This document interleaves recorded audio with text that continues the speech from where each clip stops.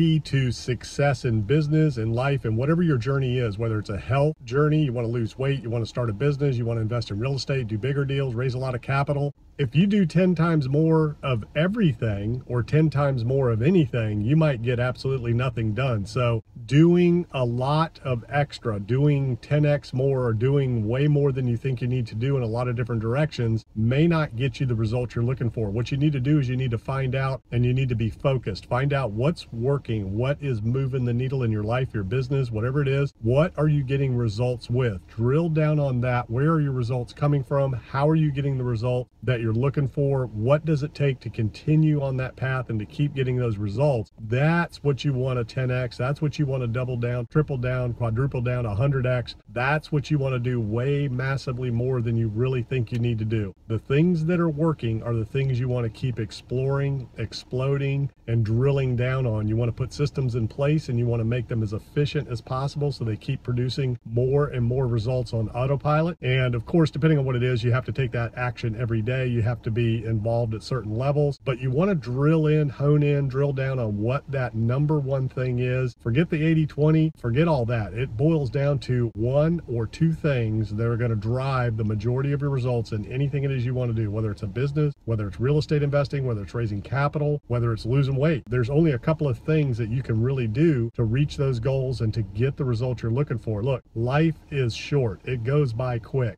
Business happens in a microsecond now. It's amazing how fast things change. Technology, techniques, systems, all of those things are changing every single day, how we do things. There are certain few things that the fundamentals will never change, like real estate. It is what it is. But in terms of how you do deals, how you raise capital, how you fund deals, how you find them, how you make yourself more and more competitive, a lot of times there's things that are changing on a daily, weekly, monthly basis. So you want to stay on top of things. You want to know what's working for you, where, who your ideal client is, and who you're speaking to if you're an influencer, if you're a podcast, if you're a business. No matter what it is, we are all serving somebody. We all have an audience. We all have an ideal client. We all have an ideal customer. We are in service to others. We're providing value to the world, to the marketplace in exchange for value back to us. So that's how the economy works. We put something out there in exchange for currency right now, which comes back to us. Then we spend our currency on something of value to us. So that's how the world goes around. That's how the economy goes around. The key is if you want more of that value and currency exchange, you got to find what's working, focus on that. Don't get distracted. Don't take your eye off the ball and figure out what it is that's working and do more of that. If it's a technique, if it's a system, if it's a certain market, niche, client, customer, whatever it is, it could be a diet, it could be an exercise routine. If you find something that's driving all of your results, not 80%, not 60%, not 90%, you want to find out what's driving 100% of your results, focus on that, drill down on that, get after that, don't get distracted, don't take your eye off the ball, and you will be there faster than you ever thought possible.